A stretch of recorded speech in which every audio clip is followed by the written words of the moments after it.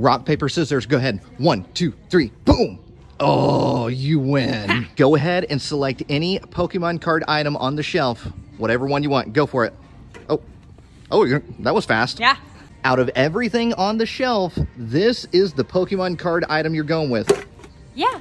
All right, that's what we're going with. This Pokemon tin is $15.99. And we're sure. Ask me if I want it one more time.